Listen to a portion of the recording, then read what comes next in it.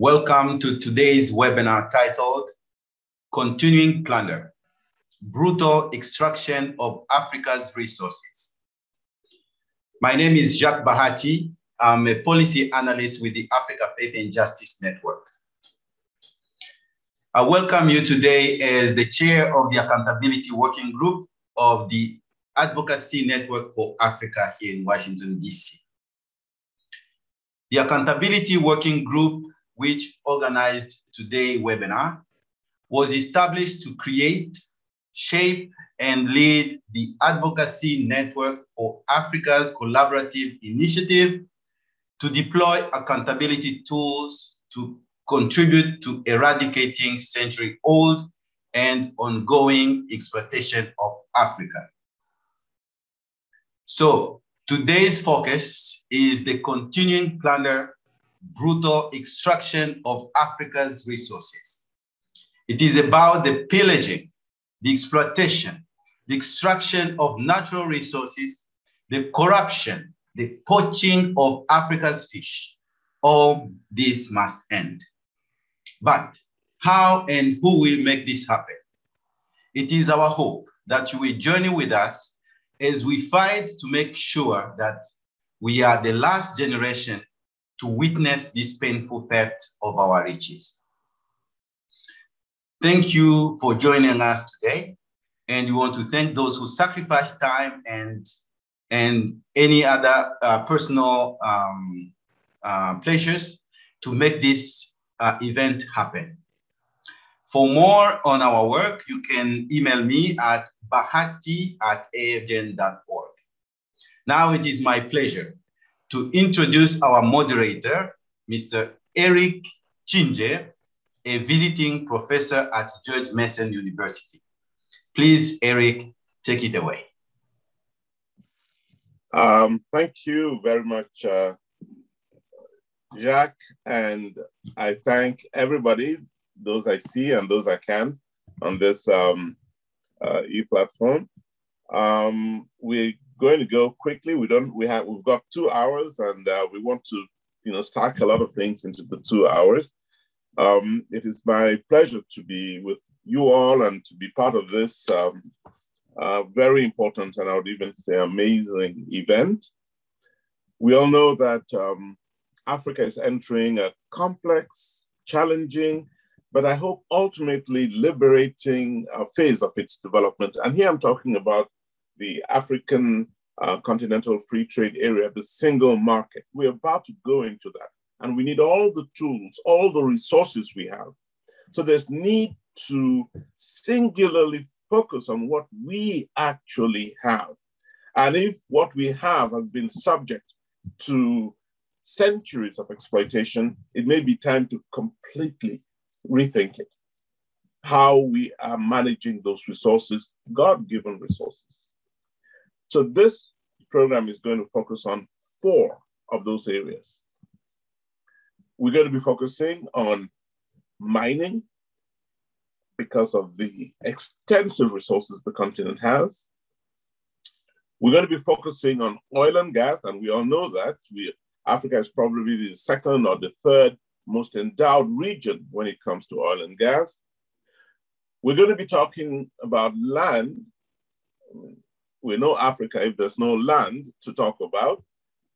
And finally, uh, we're going to be talking about fishing.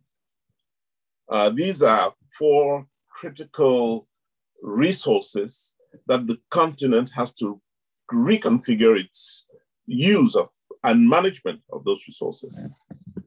Um, we're going to start off with our friend, Dr. Nnimmo Bassey, who is in Nigeria, one of the countries that has had where the exploitation of oil and gas has the most impact.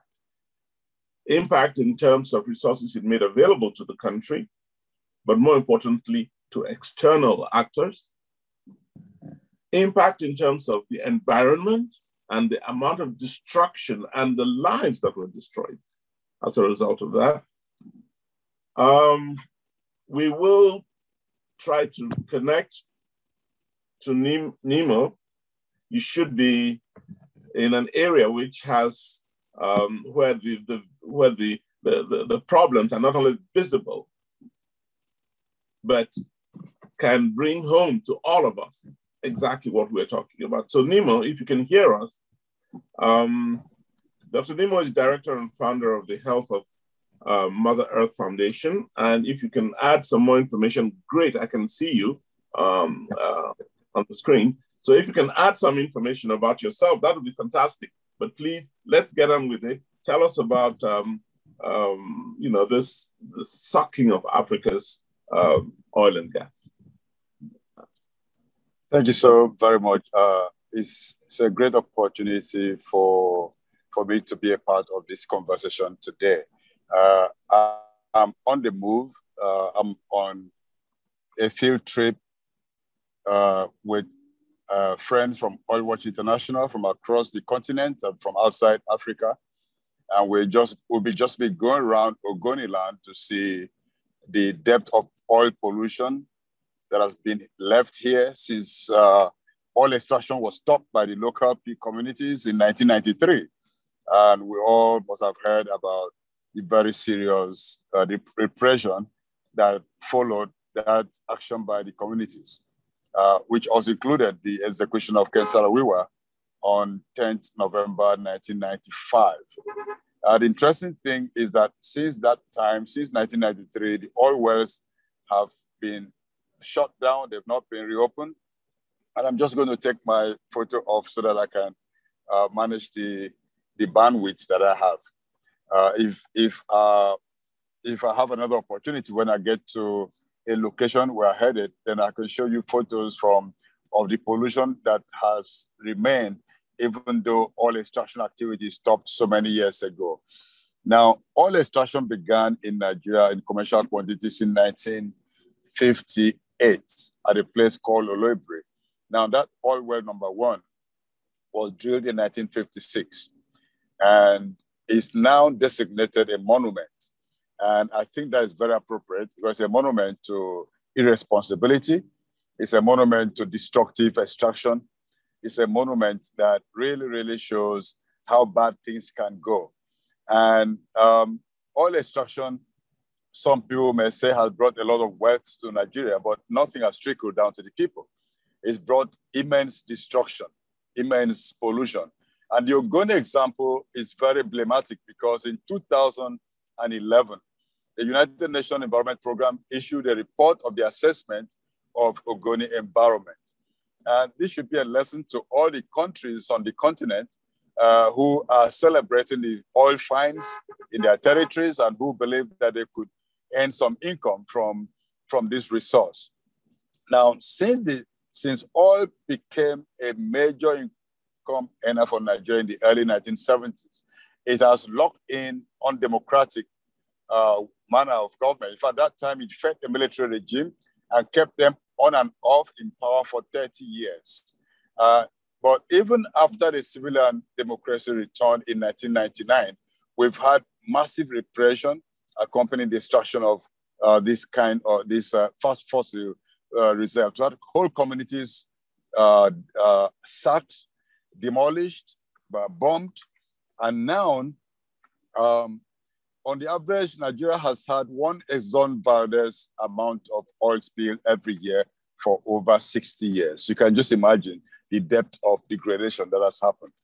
Uh, between 2018 and 2019, the National Agency for Detecting Oil Spills and Responding to them reported uh, that there were 1,000 300 oil spills, coming to an average of five oil spills on a daily basis.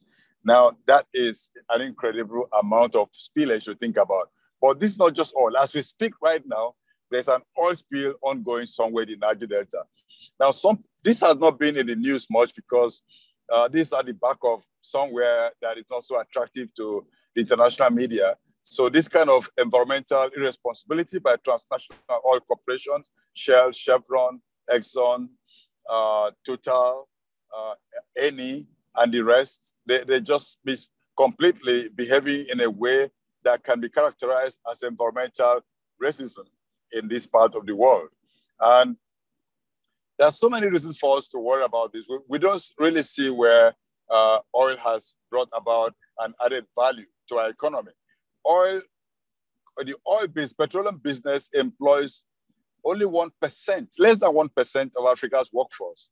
And this report can be found, in, these figures can be found in a report called, um, uh, called um, uh, it just left. I just forgot what the title of that, that report is. But um, but you can mm-hmm. find there's a report that shows that um, only less than one percent of Africans uh, are found in the uh, found their way employed by this sector. And then secondly, it's important to note that 95% uh, or above of the investment in this sector takes place outside of Africa. 95% of the investment in the petroleum sector of what carries, what is actually being uh, implemented on the continent happens outside of the continent. This is because uh, the fabrication of the oil, the rigs, mm-hmm. the floating and storage operation stations, they are all done offshore and brought uh, to the continent. And this shows clearly why this mm-hmm. sector is not adding much value to our local economy. And, and actually, as the world moves away from petroleum resources, if Africa continues to dig into it, we're going to end up with a lot of stranded assets, not just stranded assets, we're going to end up with also stranded communities. Um, in, in Nigeria, in particular, the oil corporations responding to the shift away from um, from, shift away from crude oil, uh, beginning to divest from onshore oil wells. Uh, a company like Shell is selling off uh, some of its uh, oil wells onshore and planning to move to deeper waters. The report I was trying to mention earlier that shows data about the terrible situation that the sector is in is called Skies, Sky's Limit Africa, published by Oil Change International in conjunction with Oil Watch, HOMEF, and other groups. Uh, so if you can search for that, you will find a lot of information that is really heartbreaking. And so I was mentioning about Shell moving offshore. They're moving offshore because they don't want to be held accountable for the degradation onshore. And so they're moving offshore to where there'll be less regulation, less monitoring. And they're moving offshore because the deeper they go offshore, the less they pay as royalties to the Nigerian state. Nigeria even has better joint venture arrangements with this corporation. In some other African countries, the governments get little or nothing, except the pollution, the devastation, the land grabbing, the displacement of communities, and the horrible impacts of oil spills. I talked about oil spills, and the UNEP report in Ogoniland, it was found that the water, the groundwater, surface water was contaminated right across the territory. And soils were contaminated up to a depth of five meters. As I move around the locations today to check the work being done in trying to remedy, remediate the environment, we find that some, in some areas, the pollution has actually gone down as far as 10 meters, 10 meters, which means that this pollution don't disappear. They sink deeper when they are left, they're left on their own. And we can see this happening in many spots across the continent. The situation is not, is not any better in South Sudan. It's not any better uh, in anywhere else that uh, oil is uh, in Angola other areas. And now, where we're worried about this also is the issue of justice, and not just resource justice, but just cl- climate justice. Africa has contributed less than 3%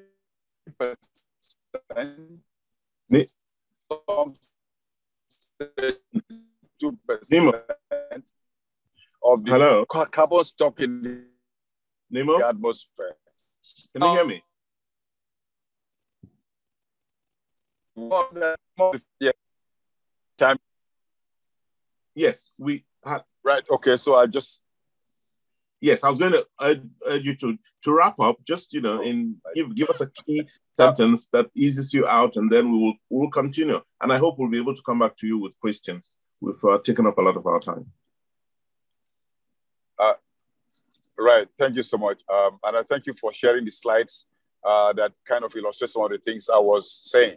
Uh, yeah. The takeaway for Africa is one that the oil sector business is actually a dead end because the world is moving away from that. And the price of oil, the price of a barrel of oil has gone so low that countries like Nigeria have to depend on borrowing extensively to meet up budgetary requirements. So new opening, like in a place like Namibia, in Botswana and other countries, and the East African oil pipeline from Uganda to Tanzania, uh, they're just investments to feed, uh, for the moment, the needs of external territories. And I think it's time for us to look for uh, resources that will build, integrate the economy of the continent uh, that actually involves our labor force and involves the development of techniques uh, using indigenous knowledge and other knowledge on the continent rather than following a pattern that brings nothing but degradation. Okay. Thank you. Yes, thank you so much. We'll come back to you with some questions, and we hope that um, in the process, you'll also hint on these renewable resources, which Africa seems to have in great abundance. Uh, you did say that um, um, oil and gas will drive sustainable growth in Africa. You know, one of your, your slides said that. I'd like to zero in on that. But before we do that, let's we'll have to go to the next uh, speaker, and that's um, uh, it's going to be uh, Faith Alubbe from Kenya. I hope you're with us, uh, Faith, and you're the executive director of the Kenya Land Alliance. And I emphasize the word land because if we can't control our land, we control nothing else. So over to you, uh, Faith, if you're with us already.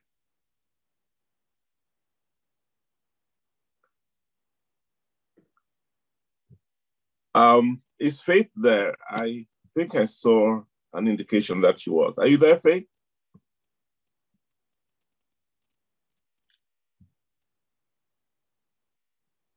Um, okay, Faith, apparently we've lost the connection.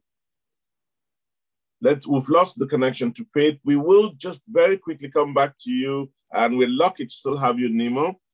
Um, I want you to address, and I, I, I, recognize the fact that our other speaker, Alain Foka, is with us, so that's wonderful. Alain, bonjour, we'll come to you shortly. But let me go back to Nnimmo and um, ask, you know, the question I, I threw out about uh, um, the claim that oil and gas would, you know, help Africa attain sustainable development. But more importantly, how do we how do we keep that, build on that, but also uh, tap into the renewable resources that Africa seems to have in great abundance? And you know, I'm thinking about solar energy, wind energy, and hydraulic energy. Um, Nnimmo? Uh, yes, thank you so much for having me back.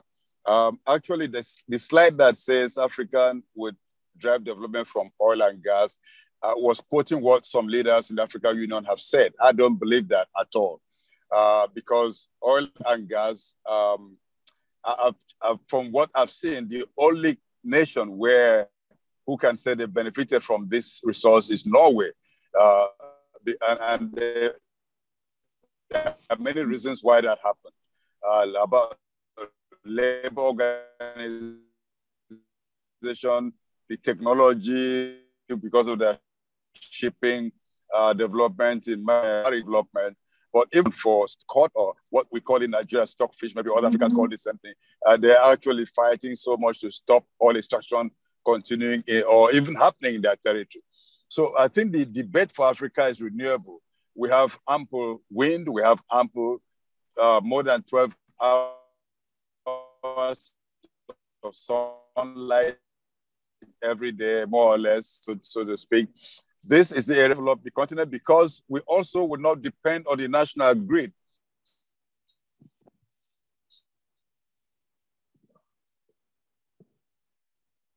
The uh, national grid to reach some of our. Please go on. Remote locations will be very expensive, and now where we can uh, do employment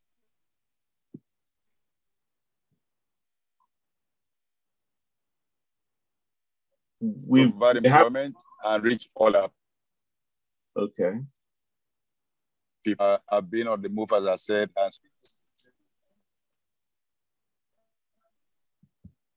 um, Dr. Bassey, I think we we the, the, the sound is very intermittent and we may be losing you. Um, I know you're still there. Please come back in when you if you need to. Uh, we will uh, allow room for that let just allow me to go on to another speaker who's on the ground, and this is these are the difficulties of uh, uh, the technology for those who are on the ground, uh, away from um, their offices and homes. Um, Alain Foka uh, is with us. He's uh, in Cameroon. Uh, from what I understand, he's always on the road. I never know where Alain is, but apparently he's currently in Cameroon and driving between the two main cities, Douala and Yaoundé. Um, I will call on Alain to address another area of another resource area that needs to be that we really need to you know focus on and these are africa's um, immense mineral wealth um, uh, from gold to diamonds and coltan and and you name it uh, uranium and so on so alain alain is going to be speaking in french we'll have um, kathy kathy in congo who will translate and um, we'll, you know, we'll, we'll play between the two languages. Africa has to figure out how to do this, not only between French and English, but also this, uh, uh, you know, Arabic and Portuguese and so on. So anyway, Alain, um, bonjour mon cher frère et euh, je sais que tu es entre Douala et Yaoundé. Je sais que euh, euh, je, je, te donne la parole maintenant pour nous parler de, ce problème de, l'exploitation, de, n'est-ce pas, de la richesse minéraire du continent. Alain. Salut Eric, ça me fait plaisir de t'avoir. Je suis effectivement sur la route entre Yaoundé,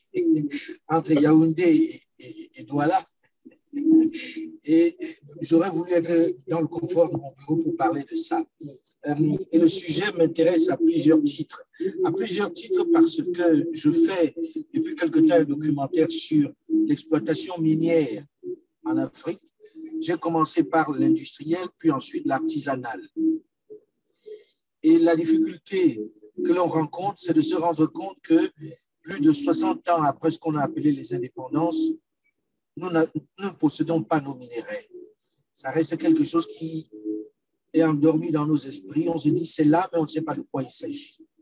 Et la démarche est de dire, à un moment donné, oui, on ne va pas développer nos pays que par les minéraux, mais peut-être que si la nature ou Dieu, chacun dira comme il veut, nous a donné un tel cadeau, il est, le est venu le moment de s'en approprier, de se le reprendre, puisque c'est les autres qui en bénéficient. Et ce que j'ai vu à RDC, ce que j'ai vu au, au, Mali, ce que j'ai vu en Côte d'Ivoire, ce que j'ai vu dans pas mal de pays africains, en Centrafrique, me rend malade parce qu'en réalité, les autres s'enrichissent sur ce que nous possédons. Seulement, mon message n'est pas de venir ici dire, voilà, les autres nous volent, les autres nous volent, puisqu'on a tellement dit ça que même le gosse le plus euh, attardé sait qu'aujourd'hui, nous faisons l'objet d'exploitation de tout ce que nous possédons. J'ai plutôt envie de passer un message en disant, une fois qu'on a posé le diagnostic, une fois qu'on est conscient que ce sont les autres qui exploitent les richesses qui nous appartiennent, qu'est-ce qu'on fait? Et c'est là où je, vais être un peu dur peut-être, mais c'est le fond de ma pensée, vous me pardonnerez d'être un peu dur. C'est là où j'estime que ce qu'on appelle l'intelligence africaine est fortement responsable. Je compare toujours ça à quelque chose de simple. Vous avez dans votre maison vos richesses avec votre famille qui Quelqu'un vient chaque jour de l'extérieur pour prendre vos richesses. À aucun moment vous vous réunissez pour dire comment on fait pour qu'il ne rentre plus chez nous pour prendre cette richesse. L'Afrique est riche de son intelligentsia. Quand on fait le tour du monde et lorsque je travaille dessus, Eric, tu le sais, je fais des documentaires sur les Africains dans le monde on est la communauté la plus diplômée aujourd'hui. Malheureusement, on est plus diplômé que intelligent, on va dire ça comme ça. On est plus diplômé qu'intellectuel, j'allais dire. Qu'est-ce qui fait qu'à aucun moment nous nous organisions pour pouvoir récupérer nos richesses, pour pouvoir au moins investir dans ce domaine, pour pouvoir au moins prendre un pan, un petit pan, ne serait-ce qu'artisanal, de ces richesses minières dont nous parlons tout le temps. Au Congo, vous arrivez, il y a tout en RDC. Mais même dans le domaine artisanal, c'est pris par des gens qui prennent sur eux de partir de Chine, venir investir un tout petit peu et possèdent l'immense richesse encore artisanale en, RDC. Est-ce que la diaspora ne peut pas travailler à lever des fonds sur le marché pour au moins commencer petitement à récupérer l'aspect artisanal pendant que l'on se bat pour l'aspect industriel? Est-ce que cette jeunesse qui a conscience qu'elle est aujourd'hui spoliée ne devrait pas travailler à unir les forces, quelles que soient les nationalités, les nationalités africaines, pour qu'il y ait un consortium, pour qu'il y ait un, un fonds, j'en sais rien, je ne suis pas spécialiste de la finance, pour commencer au moins à s'investir dans l'artisanal, qui représente, pour, pour le cas du Congo, 30% de cette immense richesse minérale. C'est un peu ça le message que j'ai envie d'avoir. Ne pas passer le temps à dire, oui, on nous vole. La chanson, on la connaît déjà.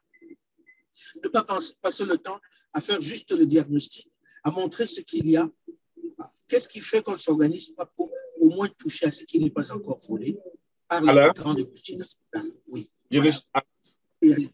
Oui. Alors, ce n'est pas pour vous interrompre, mais je vais demander à, à, à, Cathy de résumer. Euh, vous, vous avez une chose d'une importance capitale. Je vais demander à Cathy donc de résumer rapidement ce que vous avez dit. Euh, et puis, euh, je suis sûr, il y aura beaucoup de questions. On va essayer de, de, prendre ces questions et puis euh, vous permettre de respirer un petit peu.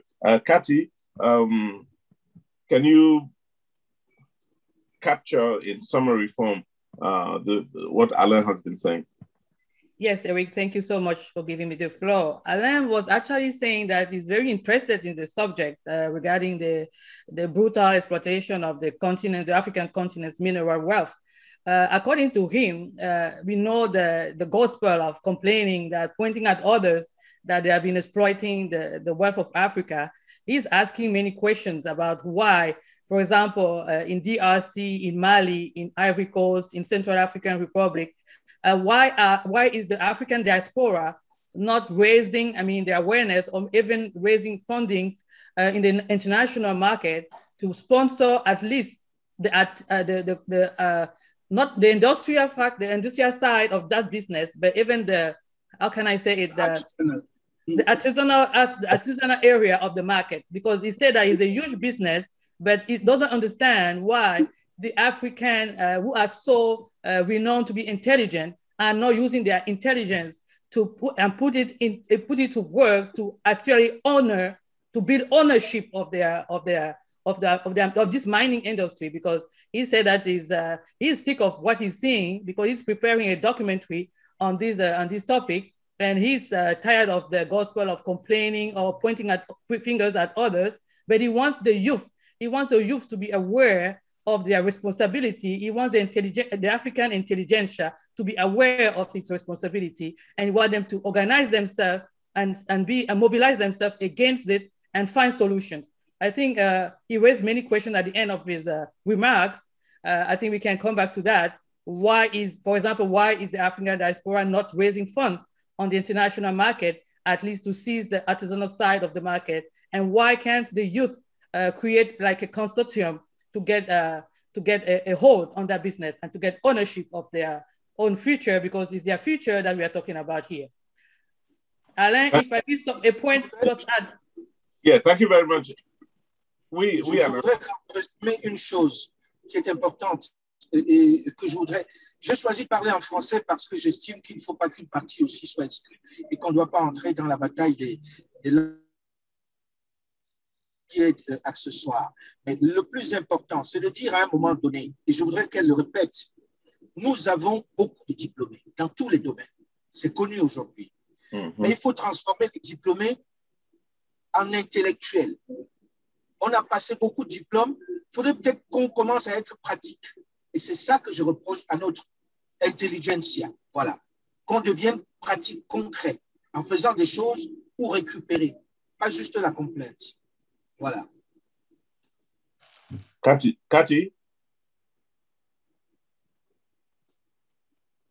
What uh, exactly what Alain is trying to say is that uh, we have a lot of graduates in every in all fields, but we are not pragmatic. We are not pragmatic, and we are we are we are not getting a whole. We are not we are not getting building ownership of our own uh, destiny. Alain, am I right? I think it's that, yes. You're right. Merci beaucoup.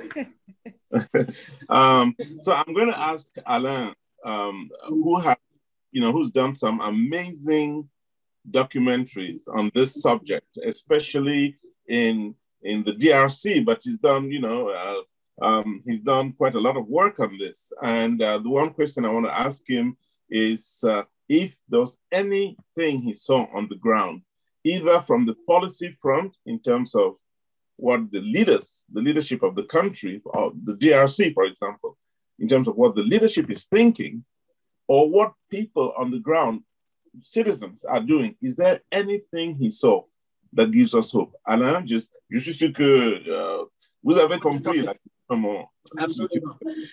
La première chose que j'ai envie de dire, c'est que quand on rencontre les autorités, les autorités ont l'impression d'être dépassées. Pour eux, il y a trop de pouvoir derrière, trop de choses derrière qu'ils ne peuvent pas maîtriser. Et comme très souvent, nos dirigeants ont peur des grandes puissances, toutes les entreprises qui arrivent donnent l'impression qu'elles sont envoyées par les grandes puissances. Donc, elles ne réagissent pas. Elles ont peur. Or, quand vous allez sur le terrain, vous voyez la misère des gens. Ce n'est pas pour faire la promo de mon, de mon document, mais quand vous arrivez, il y a la traite négrière encore dans nos pays autour de la mine artisanale. Alors, j'ai dit aux autorités, peut-être qu'il faut d'abord vous concentrer sur l'artisanal, puisque vous avez peur des grandes firmes, je peux citer des noms, hein, Glencore et compagnie, qui sont des grandes firmes internationales, où on se dit, elles sont trop puissantes. Concentrez-vous sur l'artisanal. Mais l'artisanal est tenu par des petites entreprises chinoises et il a fallu un peu secouer le cocotier, un peu faire ce document. L'État chinois a reculé en disant à ces entreprises de revenir, d'arrêter d'être dans l'illégalité. Et c'est ça qui est important. Or, les populations en ont marre, marre d'être exploitées dans leur propre pays. Quand vous descendez, voyez des gens dans les mines. Je suis descendu à 120 mètres dans les mines en profondeur. Et les gens disent, est-ce que vous voyez ce qu'on vit? Qu'attendent les autorités pour prendre en main cela?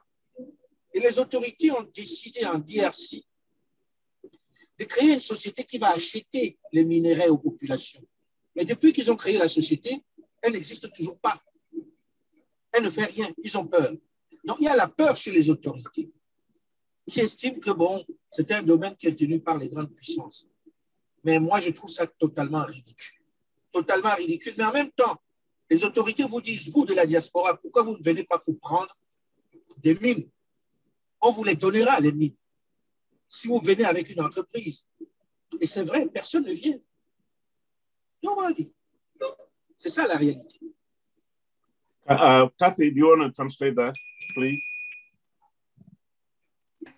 Thank you, Eric. Thank, sorry, Alain just raised three or four main points. Uh, the first one, he was uh, telling us that when he meets with the, the governments, with uh, uh, public authorities in many African countries, he, is, uh, he feels that uh, they are overwhelmed. They complain that they can't do anything because they are afraid of, of the world, I mean, the Western countries, I mean, the powerful countries in the world. So, um, and also even when a company, a mining company arrives in any of those countries, they feel like those companies are coming, are bringing the power of those great uh, uh, countries to, to the African countries. So uh, public um, officials in Africa are just like afraid to, to take control of that. He also said that he, he noticed like a form of slave trade in many places where he's been to. And this is, it makes him sad to see that uh, many communities are still being awfully exploited and uh, Chinese uh, workers are all over the place invading the artisanal mining sector and then uh, finally, he took the example of DRC, where the government created a company on the paper, but that company is still not uh, uh, uh, uh in, in I mean, in, it's still not working, it's still not, I mean, operate, operational. So he's afraid that we go over the same thing over and over. And government is also, those African government are also asking what the African diaspora is doing about it. So they expect the African diaspora to come back and uh, with and bring some uh, some companies and funding and and take control uh, take ownership of the, the mining sector, especially the artisanal uh, side of the, the business. Alain, please, if I'm a mistake, if I say anything wrong, please correct me. No, you're okay. That's It's okay. You're doing well. Uh, I want to ask Alain a final question, and it is about uh, which it's coming from uh, both um, uh, Enoch and uh, Jacques, and it has to do with whether the leaders you've interviewed, Alain, and you've interviewed a lot of them, are they conscious of the levels of poverty, especially in those uh, areas where these minerals are found? Are they fully conscious of it, like in Chad, for example, in the DRC? Um, and um, okay, uh, that's my question, Alain. I was just trying to reformulate it. le, le- le drame, c'est que pas mal de ces dirigeants sont conscients de la pauvreté des populations, de la misère qui règne. Et ce qui m'a frappé, c'est que quand j'ai montré les images, je ne veux pas citer le nom de ces deux chefs d'État, il y, en a, il y en a deux qui ont pleuré, qui ont versé une larme en voyant la misère des gens, en voyant dans quelles conditions ces gens-là vivent. Et lorsque vous discutez avec eux, ils vous disent, montrez ça aux grandes puissances qu'ils voient ce qu'ils font. Et moi, je, je réponds en disant, c'est vous qui avez la responsabilité de ces États. Hmm. C'est vous qui devez les amener à comprendre cela. Mais vous verrez, dans le documentaire, il y en a un qui se plaint en disant, nous dénonçons la gouvernance mondiale parce que on a le sentiment qu'ils n'en ont rien à faire de notre pauvreté. Maintenant, c'est nous, société civile, de mon point de vue, nous, diaspora, nous, ce qu'on appelle les intellectuels, qui devons oublier un peu les dirigeants puisqu'ils sont les bras liés, ils sont les mains liées et montrer le monde. C'est nous qui sommes à Washington, qui sommes à Paris, qui sommes à Londres, qui devons prendre la main parce que si vous avez des chefs qui sont aussi dépendants, qui sont aussi fragiles, nous qui sommes moins fragiles parce que nous travaillons, parce que nous vivons dans un environnement qui est différent, nous devons venir chercher pour montrer aux yeux du monde l'injustice. Mais en même temps, nous devons nous organiser.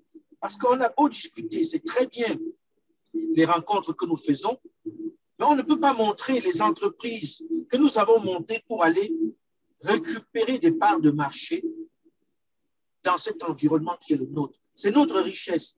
Et nous nous mettons dans nos bureaux, nous nous plaignons, on dénonce, on accuse les chefs d'État, on sait qu'ils sont mauvais. Ce n'est pas aujourd'hui qu'on le découvre. Maintenant, nous, que faisons-nous très concrètement? Est-ce qu'au sortir de ce webinaire, on peut se dire on se retrouve à 20 et on va à la recherche des fonds pour aller prendre des mines de coltan, des mines de cobalt, des mines d'or en DRC ou au Mali ou en Centrafrique Là, on sera concret. Maintenant, les, forats, on peut les multiplier. Si c'est juste pour discuter, ça n'a aucun intérêt. C'est ça mon point de vue. Ça peut choquer un certain nombre de personnes, mais je pense comme ça. Merci infiniment, euh, Alain.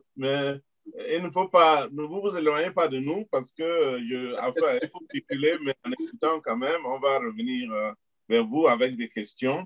Uh, so Alain essentially um, uh, pointed. Oh, Kathy, please, why don't you take this? You can go ahead, Eric. well, I mean, uh, Alain, Alain was pointing at the to the need for global that the leaders he has Yes. spoken. I mean, and it's amazing that he said this. That the leaders he spoke, you know, he's taken images of, you know, he goes around filming a lot of these things. He's taken images to some of the uh, leaders in Africa, and some have actually shed tears, seeing what they're seeing. So evidence, obviously, that they've not been to those places um, where they need to go to. But Alain said they tend to denounce global governance on the issues. So uh, obviously, they believe that uh, that's where the solution should be coming from. But he has also told them each time he's interviewed them that they should be the ones who who who who, who pick this up. And his emphasis now is on the diaspora. The diaspora needs to organize itself. That's the central his central message. Somehow we've got to figure out how the diaspora helps connect to the people who live in these um, uh, in these uh, mineral-rich areas and help them uh, be part of the process of the of the uh, of the production chain. Um, Alain will be with us. He's driving, but I've urged him to, to, to stay connected if he can, and we'll come back to him with questions that we may have. Um, I suppose I can now call on Faith. I want to see if Faith is around, and uh, if she is, it looks like she is. So, um, Faith, thank you for uh, connecting, and um, you're the um, executive director of the Kenya Land Alliance. Uh, Kenya is one country that has had uh, an amazing, incredible experience also with the land issues. Um, even though what is happening on the continent now pales, I mean, uh, the, the situation in Kenya pales in comparison to what's happening in on the continent right now with um, in Madagascar, in in in in um, Mozambique, in Cameroon, countries where China and others are just coming and talking about land grab. They're grabbing the land, and in other countries. So um, uh, um, Faith Alubbe, uh, Executive Director, it's over to you. Please tell us about the not only the Kenya, the Kenya uh, situation, but the whole problem of land management in Africa. Faith? Uh, thank you very much. Thank you very much, Eric. Indeed, um, it's such an opportunity. Apologies, I could not uh, log on earlier. I had uh, Wi-Fi issues and I'm out in the bush somewhere called Taita Taveta. It's like six hours from the capital city. Um, it's a great opportunity for me to be here, and I'd like to talk about the ongoing land grabs, not only in Kenya, but of course, the continent. And all this is tied into resource um, extraction and, and the resource curse, so to speak. So I had shared my PowerPoint with Lydia. I'll start with Kenya and give case studies about Kenya, and then we can expand the, the conversation. Yeah, the continuing plunder. So I'd like to do some some little bit of history because Big Brother Nee told me to talk a little bit about land and the land justice question in Kenya before we um, expand the discussion. We can go on, Lydia. We go on. Yeah, so our story as Kenya started in 1895 uh, when the colonialists were heading to Uganda to find out the source of River Nile. And they passed through this beautiful nation and they called it Kenya and then they colonized it. When they colonized it on June 9, 1895, we became tenants at will of the British East African Protectorate. Uh, for us, I think I was not, I was, I was not back. I can only imagine how people back then felt, but they were this free community, this free society. Then all of a sudden, there are these pieces of legislation that they didn't even understand that are being imposed on them. In 1890, between 1897 and 1902, um, the British uh, uh, uh, masters, colonial masters, were giving incentives to settlers from the UK, 2,000 pounds to be exact, to come settle in this beautiful uh, place that they found um, raw materials, free labor, almost free labor. And um, the natives are not that uh, powerful, so they can come and be colonized. So between 1897 and 1902, there are certain pieces of legislation that were introduced in order to make sure that they take over the most productive lands in the White Highlands, in the central of Kenya, and along the coastal strip. Between 1904 and 1920, the British introduced a policy to settle Africans into reserves, the, the, the natives into reserves, in essence, adding uh, Kenyans into um, a sort of a village uh, sort of setting where they made sure that whoever is in the village initially uh, did not have to pay tax, which had been introduced by the Crown Ordinance of 1890 and the Crown returns of 1897. So they made sure that outside the villages or the reserves, lives were a little bit uh, tough. And then if you are in the reserve, then you are offered some form of uh, compensation when you work uh, on the plantation of the colonial administrator. So this led to, um, it was a divide and rule tactic because uh, the natives then brought out the differences out of the natives instead of um, the natives uh, sticking together. What they did is that now they started looking at their differences. You're a different ethnic tribe, um, you are preferred, um, and the unhealthy competition brought about uh, um, a lot of problems like the squatter problem in the coast, uh, where, which still exists. There are some of these issues that are cyclic and they still exist. Right now uh, in Kenya, I'll be going back and forth so that you understand the plunder.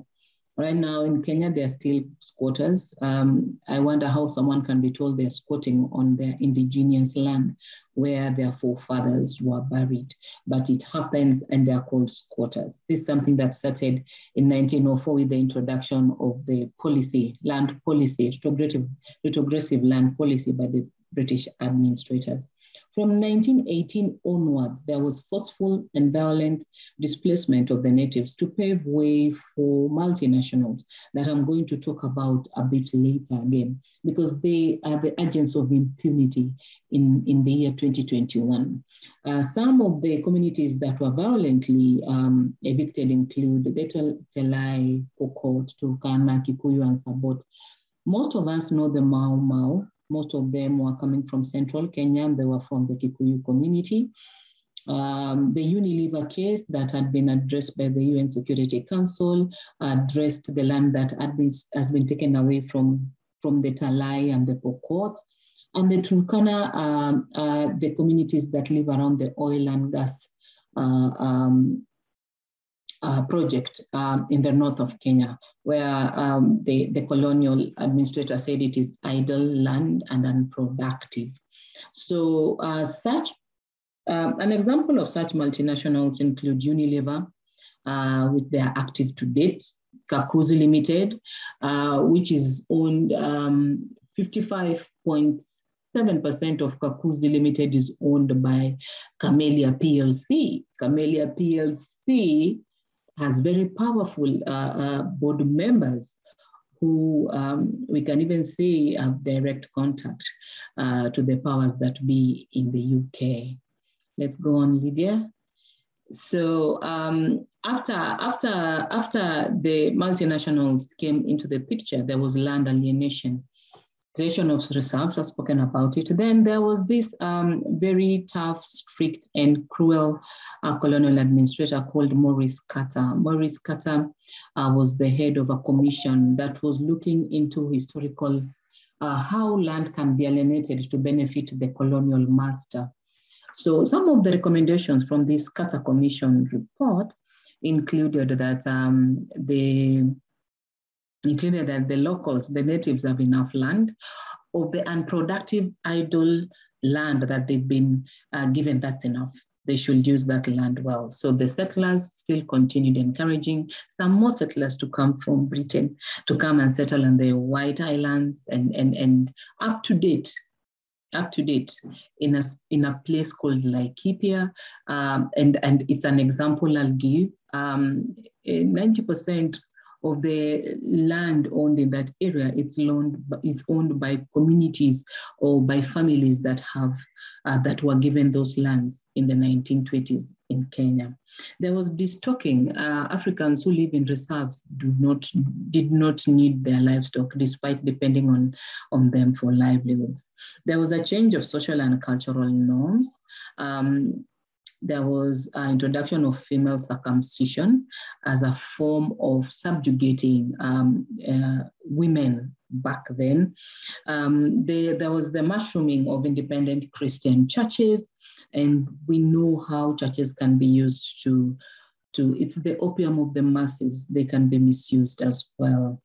And then there's the impact of the World War One. The soldiers who went for war came back and they were more enlightened. And they started uh, sensitizing uh, fellow natives, like, you know what, uh, we can fight for our land because by then there were only two major problems in Kenya. Um, the issue of uh, freedom and land. Those were the two issues that Kenyans started fighting for. That is what led to the uh, resistance and the agitation. So when we're talking about agitation, there are some very retrogressive, retrogressive policies that uh, were introduced, like um, you, natives used to live in reserves and then in exchange offer uh, free labor to, to or very or labor at a very minimal wage to, to the colonial administrator. And in exchange, they'd live in the reserves. The colonial administrator, I'm calling them generally because they, they, they took away all the productive lands. There was the introduction of trade unions where uh, the natives tried to organize and, and, and, and, and just get their voices heard and amplified. But of course, um, uh, the colonial administrators would have none of that.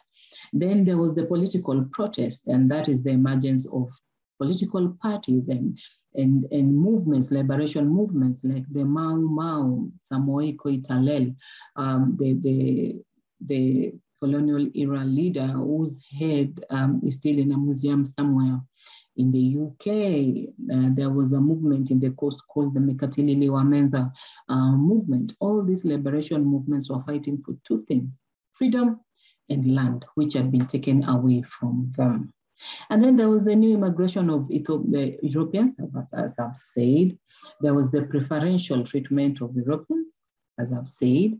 Then there's the quota issue that came in because when, when they took up the reproductive, when they took up the productive, sorry, the productive lands, um, the Africans or the natives that were living on those lands were displaced. Um, if they were not uh, added into a reserve, um, they had to go squat somewhere else, especially on European farms. So uh, they were not recognized by the system. So because they were not recognized by the system, because they were not registered in a reserve, they were not hired by an European, so they were squatting. When you're a squatter, you took what you were given, and they preferred that uh, that arrangement because when you are you're not recognized by the system, then you take what you're given. Lydia. So after the after the agitation period, before I, I, I, go into the case studies and I'm going to go into Mau Mau a little bit. After the agitation period of 1945 and the recommendations of the Carter report, um, and Africa uh, really. I'm, yes? I'm sorry to, you know, I don't want to interrupt you, but I just want to say, you know, we'll have to accelerate this because we're really squeezed. Yes. So please go ahead. Yes, yes. I'll, I'll, I'll, just show you how cyclic it is because I don't think Kenya we are free and I don't think we have the land that the Mau Mau went to the forest to fight for. So after the agitation, there was a state of emergency that was declared in 1952 to 1963. During that period is when there was an emergence of very serious movements like the Mau Mau. So it was a matter of freedom and land. And um, the Mau Mau, the, the, the, that movement was banned. Actually, people know it as the Mau Mau, but the real name is the Kenya Land and Freedom Army. The Kenya Land and Freedom Army was banned until 2003 when President Kibaki came in in Kenya. And when it was, it was unprescribed, um, the Kenya Human Rights Commission, back then I was an officer of the Kenya Human Rights Commission, um, we went, we took that case to the Royal Court of Justice and, and we were we were we pushed for the for the narrative that you know uh, it was a colonial legacy to mistreat and punish and ill treatment and, and and and treat natives in such a in such a cruel manner. It was a government. It was a queen's policy. It was the queen. It was a state policy, and some of the issues that were brought up, and I'm going to show you some of the photos before I, I share this plunder. Some of the issues that were brought up back then was the issue of jurisdiction, the issue of liability, the issue of time limitation, that 50 years after independence, um, the natives cannot go back to the perpetrator and say that um, uh, the perpetrator, the UK government is responsible for the injustices that were meted out to people during the emergency period. But of course, there's the definition of a human rights abuse and why it's not limited to time or space. So the Mau Mau case, I wonder if it was a success considering that only 5,228 uh, liberation heroes managed to get some form of token while they were in their millions because most of them were displaced back then. So how does plunder happen in Kenya right now? There's the Tullow Oil, and if you, you can see the picture where one of our dailies is talking about the big lie. Tullow Oil is a UK oil farm, and right now they've slapped the Kenyan government with a bill of 204 billion I think that is like $204 million. And we can't see the oil. That is a case study. It is current. So we're wondering what, what, where is the, it is the cost of oil, but where is the oil? That is the same with what they used to do back in the colonial era where um, the multinationals used to be given land and incentives to come to Kenya. Let's move on, Lydia. Uh, there is um, a second one uh, called Kakuzi. Kakuzi is where Camellia owns 55.7%, and Camellia has been uh, associated with the queen herself. Uh, Kakuzi, there is a decision made by um, uh, most of the courts in Kenya about their leases. They own 43,000 hectares. And um, they, during their day, their heyday, they used to castrate men so that they cannot be productive and, and, and they could work on their plantations till, death. They are still in existence right now. Uh, they're the ones who, who uh, produce macadamia nuts, avocado, um, and you can see the daily is talking about why the decision in Kakuzi case could alter land laws because a UK court awarded the communities that live around Kakuzi some sort of token. And, but we are yet to know the leases. They have 26 leases, colonial era 1920, that we have no idea about. This is current, Kakuzi is still operating. They have the biggest, uh, the biggest contract from China to supply uh, avocados. Uh -huh. Let's move on, Lydia. There is the Base Titanium. It's operational in the coastal um, area where squatters are saying that they're getting a raw deal. Base Titanium uh, um, has been operating and, and extracting um, uh, uh, mine. So it's also one of the multinationals that operate in the coastal area. And in this area, the education levels are too low. So um, the awareness is too low as well. Um, we continue, Lydia. Um, there's Laikipia right now in Kenya. There's some sort of conflict where people have died in Laikipia. And I've just tried to illustrate um, what the problem is. If you look at large scale ranches, they are owned by families that were awarded these lands in 1920, inclu including Kuki Gallmann. Um, if you've watched a film, I think it's Out of Africa. She's the biggest landowner in Kenya with 1 million hectares. And um, family was given land in 1924. She still owns that land. And if you look at um, the Crown Ordinance of 1899, as I've not I've, I shared before, up to today, those large-scale ranches own 90% of Laikipia, including uh, the Lewa Ranch, where most of the famous uh, who come to, to, to, to, participate in the annual event. There's even uh, uh, there's even word that goes around that uh, the royals have a portion of land in those areas in 2021 from 1899. Um, let's go on as I conclude. Um, as I conclude, I'm almost done. This is the second last um, slide, um, Eric. Let's share the other document so that I just show you what the Mau Mau reparation case um, is like. The Mau Mau reparation case is, is, is a unique case because the victims got to confront the perpetrators and negotiated an out-of-court settlement. The settlement was too little because each of the 5,228 victims only got around 340 shillings, that's 340 pounds. And some of them had been castrated. Some of them, uh, they had suffered enormous harm. They, they, are, they were maimed. So you can imagine 340 pounds, 50 years down the lane. And this is the memorial that was part of the out-of-court settlement. The out-of-court settlement had three parts.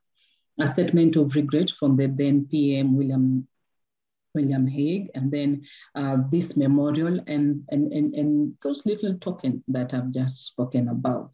So this document I've also shared, maybe Lydia can share it, um, can share it with, with whoever is interested, but it's a six page document that talks about the court case, the out of court settlement, and how unfair it is, but the British kept touting it that you know, this is a reconciliation document and, and this is what we can offer for now. So as I finish, I'd just like to talk about the bottlenecks.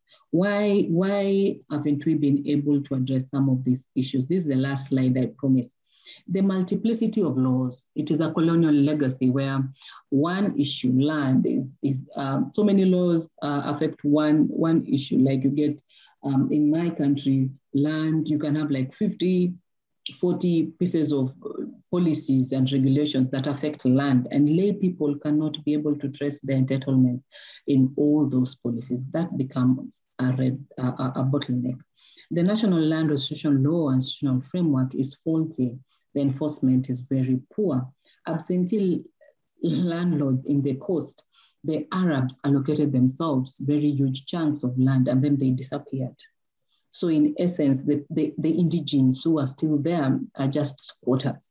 So they're still living as squatters on their indigenous land because an ordinance made them uh, squatters back in 1899. Uh, sub, successive regimes have never been able to address that in my country. Our president is a big, as among the biggest landowners, so they, they, they, they are not in a rush to address some of those injustices. The repossession of illegally acquired land is provided for in the constitution, but no one has the guts to do that. And even if they, uh, they, they, they give such an award, the enforcement is still a challenge. And resolve historical land injustices is an issue that I have said all through my presentation. Abuse of power, like the previous presenter said, it's still very real here.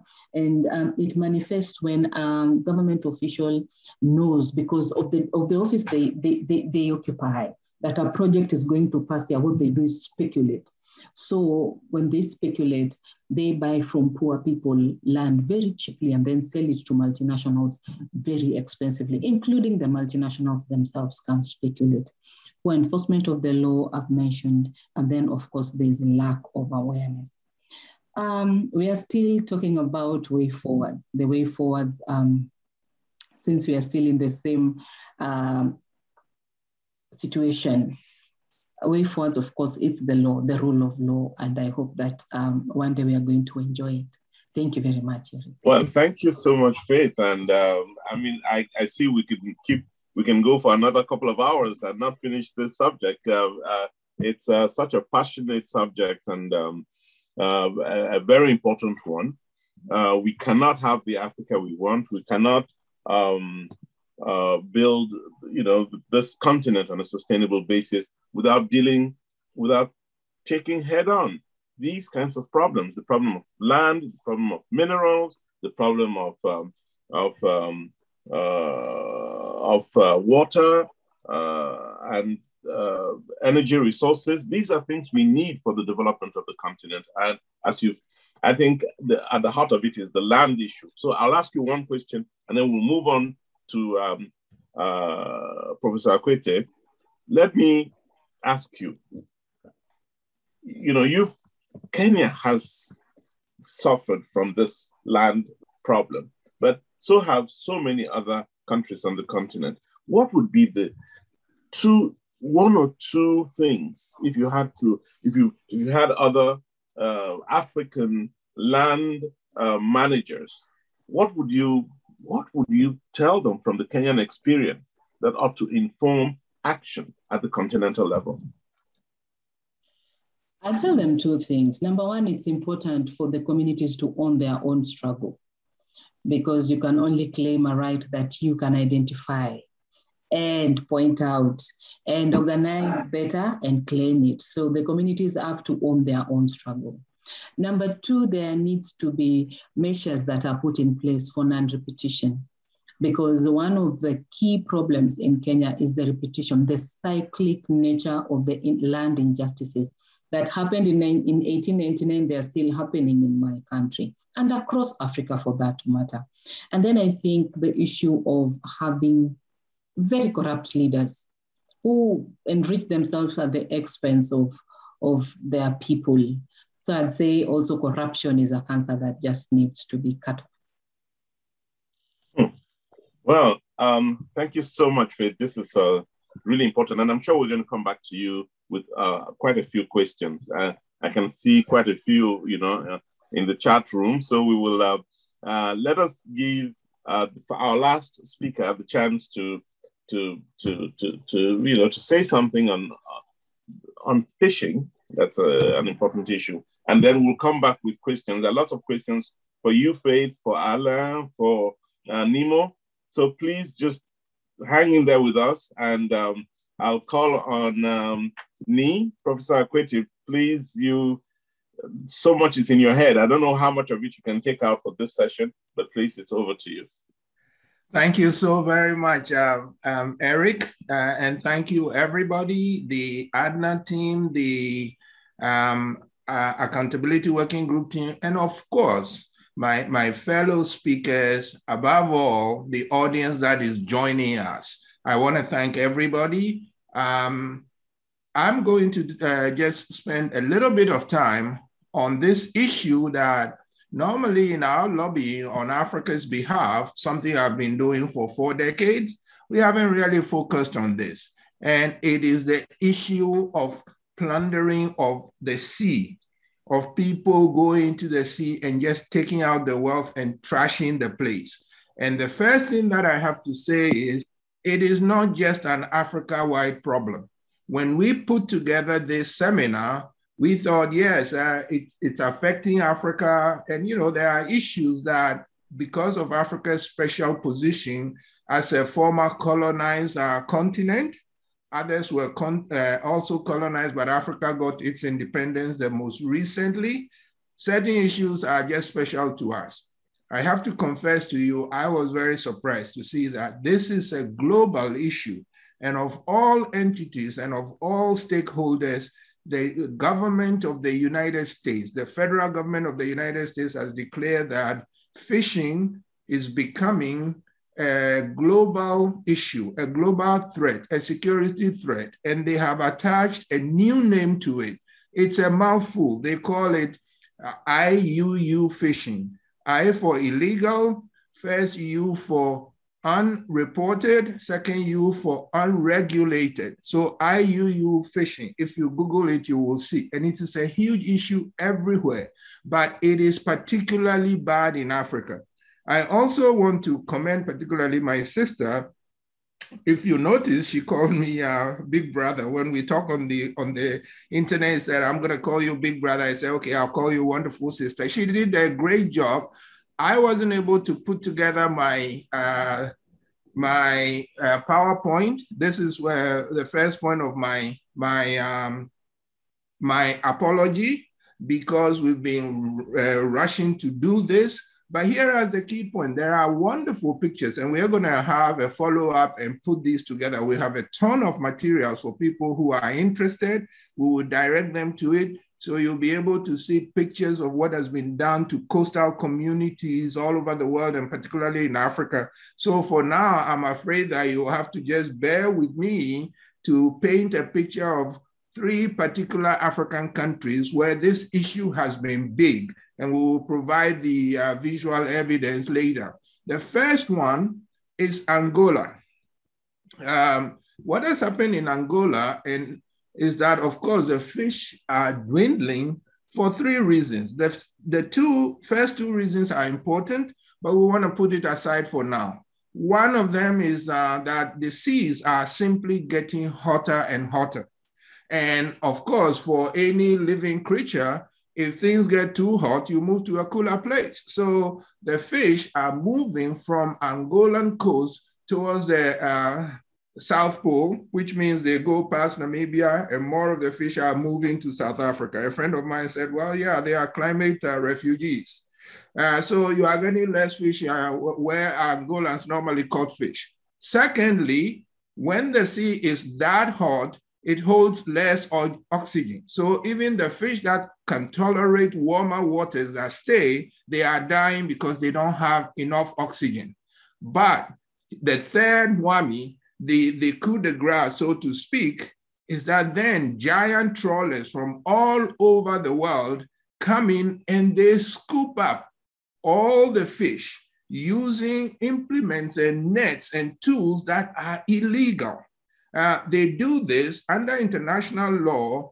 Coastal countries, unless there is two are close and they have to divide it, coastal countries have 200 kilometers of their coast is, is seen as are similar to their land. It belongs to them. The resources are theirs. Foreigners cannot fish there without cannot fish there without permission.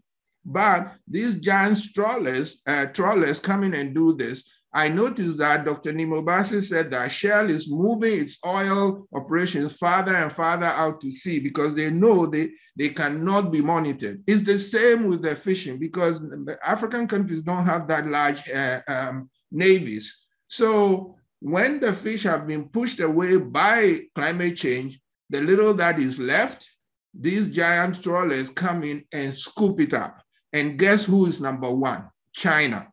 China has the most trawlers. They are scooping it up. The Angolan government is not doing much about it. And you can figure out the reason why.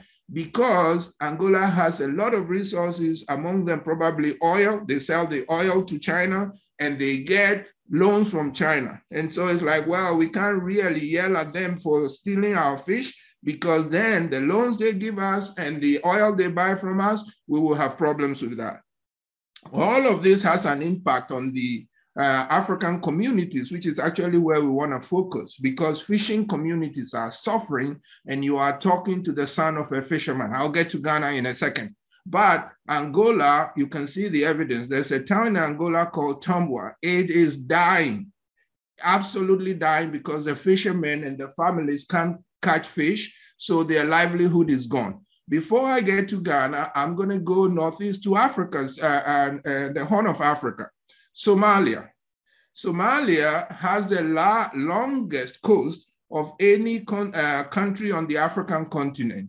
It is uh, 3,400 kilometers. Somalia has gone through a lot of trauma, especially since 1991 when Siad Barre was overthrown and left for exile in Nigeria and warlords took over the place. The US has played a big and to my mind, bad role in Somalia. The country is now has a weak central government where it looks like the only thing it controls is the capital, uh, Mogadishu and the impact is in the sea. Now, I want everybody to think back to the first year that President Obama was in power, uh, 2009. In April of that year, the first military order he gave uh, for people to go into action was to kill two Somali pirates. They had taken uh, um, hostage an American called Captain Phillips, why did they do that? Because for 70 years, these uh, uh, foreign trawlers have been going to Somali waters and absolutely devastating the fish, stealing the fish that Somali fishermen catch.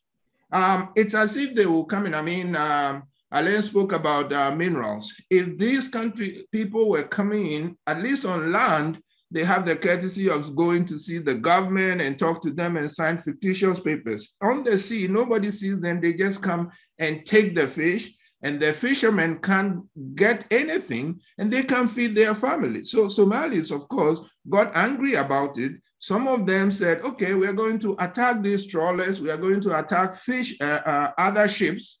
And because of that, the West branded them as pirates. Of course, if you go to the movies, you see these funny movies about pirates from long ago, and we love that. But in the 20th century, nobody loves uh, uh, uh, pirates.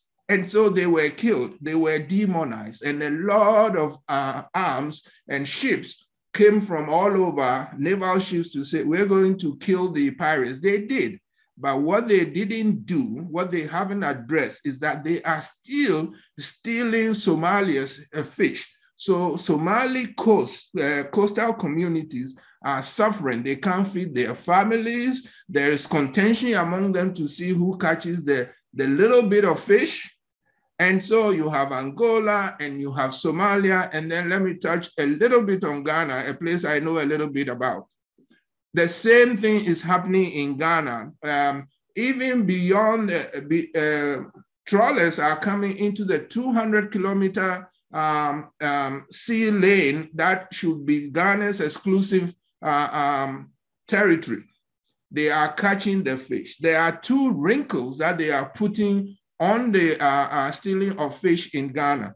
One is that a lot of the trawlers have actually been registered as being owned by Ghanaians, but you scratch the surface, no, they, uh, th those Ghanaians are not owning them. They are frontmen for the Chinese um, and they are catching a lot of fish. and taking it away to sell in Europe or back to China. So the fishing uh, industry in Ghana has been devastated. Fishermen can't get fish. They go farther and farther. The artisanal fishermen can't get the fish. The other part of it is that research has shown that of all the African countries, Ghanaians, uh, for, for protein in their diet, Ghanaians depend on fish more than anybody else. Some of the protein comes from, of course, plants and from animals, but for Ghanaians, about 60% of the animal protein comes from, 60% uh, comes from fish, and they are catching less fish. So it's causing nutritional problems. It has devastated families. I talk to my family, my extended family, and people can't send their children to school because of this. And what the Chinese trawlers also do in Ghana is something called saiko fishing because the international law says, okay, it's not that um, um, big countries can send trawlers to fish. They have to fish in the right waters and they have to catch the right fish. They can catch things like tuna. They can catch fish, things like swordfish. But smaller fish like sardines and others, look, only locals are allowed to catch them. Well, in the Ghanaian waters, the Chinese trawlers and also uh, some from Thailand and a, a few, some also from the European Union, they are catching these fish, which they are not supposed to catch, freezing them and then saying to the Ghanaian local artisans, uh, uh, fishermen, well, we will sell that to you they have been selling it to them. So you buy it frozen from the Chinese trawlers and then you take it to land and sell. And of course, it's not enough for them to maintain a living, but this is what they are doing, and it is against the law. It is devastating the fish. The fish can't reproduce. Of course, the Ghanaian government has to do something about this. Like the Angolan government, they are not speaking up much. And some people have said, well, yeah, look at their relationship with the Chinese government. They have had a big bauxite agreement and they have taken loans for that. So once again, it's like, well, we can't really say much about what they are doing in um, in the in the seas because it might jeopardize our bigger relations with them. Two other quick points. So Ghanaian civil society have actually been pushing, and one of the elements done was okay they are going to put inspectors on those big trawlers to make sure that they are catching the right fish and using the right equipment. Well, of course, you can see that the, the, these um, big trawlers that are breaking the law don't want prying eyes. They have disappeared at least one inspector. His family has not heard from him. The case has been about 10 months now. He has disappeared the, the fish, um, the trawler owners say, well, we don't know what happened to him. So one of the um, arguments now is um, the African Union and these coastal countries, they should push for remote controlled cameras on these trawlers so that they stop uh, um, uh, stealing the fish, but and they can be seen what they are doing and they will, no other family will have to go through what the Eshun family in Ghana has been going to. And in reading all this research, one other final point, and, and then I'll pause there, that has struck me is this, and it's actually the title of my, this talking point, which I'm working into an essay, it is um, um, IUU fishing, illegal, uh, unre unregulated, unreported fishing, colon,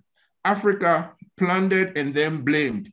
Because when you look at the FAO, when you look at the European Union, when you look at China, when you look at all these big countries that send their trawlers into a lot of places, and I should say, like as I mentioned at the beginning, it's not just Africa, but it's particularly bad in Africa. Um, Adna's friend Aldo said to me, it's happening in Argentina too. It's happening in South America too. But in Africa, when I'm reading the report, these big countries say to Africa, including the European Union, they say, well, we blame the Ghanaians, well, we blame the Angolans, well, we blame the Somalis. If they didn't have corruption, there would be no stealing of fish. That is true. But the question that some people are asking, some young kids I was talking to, they said, wouldn't it be easier if these big countries will stop their trawlers to go thousands of miles from China into Ghanaian waters, Somali waters, and Angolan waters to do it. So They are sending their ships, they are taking the fish, and then they blame the Africans. And my final piece, which is actually an apology Ghana, Somalia, Angola, they are not the only countries suffering the most. In fact, one of the big countries suffering a lot that is also trying to fight back is Senegal. Just my apologies that in trying to do my research, I ran out of time on Senegal, but we will do this again. I want to thank you, Eric, and thank everyone, and I'm ready for questions and discussions. Thank you. Uh, thank you very much, uh, Nii. Thank you, um, uh, everyone. And uh, I think we're now moving into the next phase of this discussion, which is actually opening up the field to um, all participants to, to ask questions. I started off by talking about the, um, the African Continental Free Trade Area, which um, will ultimately have Africans looking inwards, you know, creating the markets, the wealth, and the jobs that they need uh, so the AFCFTA, which, which we called the African Single Market, is in our future. Is in our future. And we've got to work to get there. Now, the question I have for all the panelists is from your perspective, from fishing, and I'm going to start with fishing, so I'll inverse the, the process. From fishing, what do we need to do to capture that market, the processes, and bring that back to the continent as we try to build this continental single market. I'll have Nii speak, and then I'll go to land. Uh, I hope you're there, Faith, to tell us, give us some ideas on what we need to do. We're becoming as concrete as we can. And I'll go on to minerals, and then I'm hoping that uh, uh, Dr. Bassey is there. Uh, Nnimmo, I'll come to you uh, at the end of the process. Let me start with uh, me. What do we do in the um, Africa um, um, single market? I think you're absolutely right. It's a great achievement, but it's on paper. Now we have to make it work. And yes, the um, exactly what it's supposed to do is to make sure that Africa's resources are properly controlled and traded so that the, the funds are used for the benefit of Africans. Now, I, again, my, my three preceding fellow speakers have been wonderful. I feel like I'm in, uh, uh, in over my head. Um, Alain in particular, I don't, my French is not very good, but I got the gist of it. And he kept mentioning the African diaspora. And I love that. Where he says diaspora, I will say ADNA, because I want us, ADNA, to look in the mirror. Uh, and I'm tying the two together. What can be done? When I look at the fishing problem, I think there is a lot that we can get the government that we now live under. Yes, uh, ADNA is in several places, not just Washington, all over the US, Canada, uh, in Africa. But yes, we are heavily concentrated in the United States. We live under the government of the United States. Our job is to lobby the government of the United States to have proper policies towards Africa. And when you look at the IUU fishing, there is so much that we must work with the US government to do. So my answer is the first point is for ADNA to engage with the Congress, engage with the Biden administration and any other administration and say, okay, you are now turning on illegal fishing. By the way, the, the two, three words are a mouthful, so I substitute catastrophic fishing. Catastrophic fishing, we can work with the United States to change its policy to make sure that um, big trawlers. In my research, I didn't see US trawlers being some of the um, um, culprits, so to speak. Maybe there are some, I haven't done enough of the research. Most of the corporate uh, trawlers are coming from countries like the European, Union. I mean, the European Union is a collection of countries, and China. The US can use its power and its laws and its sanctions to make sure that these trawlers stop breaking the law and they can help the Africa Union do that and they can help the Africa Union insert this element of sort of protecting the fishing resources into the implementation of the Africa single market. Thank you. Thank you very much. Uh, I will go on to the uh, to, to land. That's the second uh, in line. Um, uh, Faith, any thoughts, ideas for uh, what we can do as a continent, you know, to tap into, uh, overcome the problems we have with land management? Yes, I'd like to suggest like one or two um, um, interventions we can do. Number one, I think one of the biggest problems that we are facing is the transnational um, crimes, the, the, the, the cross-border crime that are being perpetuated by multinationals. And the multinationals are a government unto themselves. They militarize their installations so that they have their own small army in a certain area. Then they can be able to influence political um, processes. So if there is a way we can link struggles so that uh, whatever East Africa is going through is what Southern Africa is going through, is what Western Africa is going through, we should come together and link struggles at all levels, local level, because at times you get that the language that we use in certain spaces at international and regional level cannot be used at local level. While the local level um, uh, struggle is the is the are the wheels. It is the the the for lack of a better word, it's why it's the reason why uh, certain processes can be very successful. So we need to simplify the discussion so that the linking of struggles can be easier. And then number two is for us to develop simple tools that can be owned by any person who understands the discourse to facilitate accountability. Um, if I might borrow from the Kenyan uh, context, 70% um, of our lands are unregistered. With such fluid uh, uh, uh, tenure, um, anything can be done to such land. They do not have anybody to be accountable to as long as they can afford money to put electric fence around a piece of land, they are good to go. So there is need to develop um, IEC materials or tools that can be scorecards even for uh, my grandmother in the village to know that this process has six steps. And out of the six, three have been skipped. Why are we skipping this, these three steps?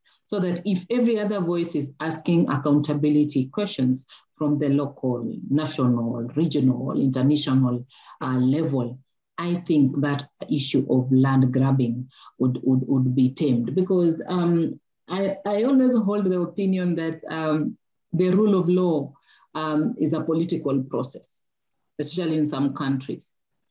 Um, the law is not absolute, and if right claimants cannot demand for their rights, then um, agents of impunity have their field day. Hmm. Thank, thank, you so much, uh, Faith. That's wonderful. Uh, let me see uh, if Alan, Alan, are you there? I yes, it looks like Alan. Alan? You know, he's on the road, and may, we may have lost him. Or um, is okay. Uh, Dr. Bassey? If they, well, whilst we try to reconnect with them, and I hope we do, uh, because uh, Alain has been in and just uh, we just lost him again. Um, I have got a few questions here for the two uh, that we have, uh, um, Professor Akuetteh and um, Miss Alubbe, uh, Faith. Um, how, I'll, I'll ask both of you the same question. How can African civil society, do you have any ideas on how we can pull African civil societies, you know, come pull them together, bring them to a common purpose of, you know, trying to deal with these issues? Do you have any thoughts on that? Uh, Faith? Yes, we can pull together. Um, I'd say the issue of scarce resources has promoted unhealthy competition, even amongst ourselves, thus fragmenting the discussion. So we need to find a way of resourcing uh, the movement, um, human resource and, and funding in such a way that um, we, we leverage on our strength. So the coming together should be very clear. I'd say structured uh, networks are not ideal, but I think if everybody can locate themselves in, in, in a struggle, then it is easy to engage rather than having uh, fluid ways of, of engaging. And then uh, the, the funding is, is, is thinning, okay? The African civil society, we are, almost all of us are struggling with the funding. We need to be more innovative in how uh, we sustain movements. Um, we know, like for instance, in the land justice uh, agenda that our enemy is rich, um, very connected. The multinationals have deep pockets and they've been around for such a long time. So there is an element that cannot just be handled by resources. There is need for commitment and better organizing on the part of the African CSOs. Hmm. Um, Nii?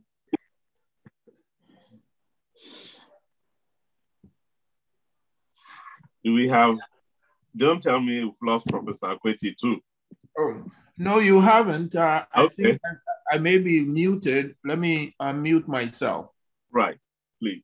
You, you, you are unmuted now. Yes, you're fine. Okay, thank you. Yes, um, I can hear you fine. I heard Faith fine. I think your answer is great and very much along the same lines. Uh, uh, basically, what I drilled from her, I, I extracted from her last answer is joining forces. Because, you know, I like to think that of all the challenges that Africa faces, particularly in the area of resources, the core the core of our problem is these are not uh, events out of nature okay? It's not like the rainfall or or other things that are just happening. These are the actions of actors people are taking our resources. And the point is those who take our resources they have a network. They are connected.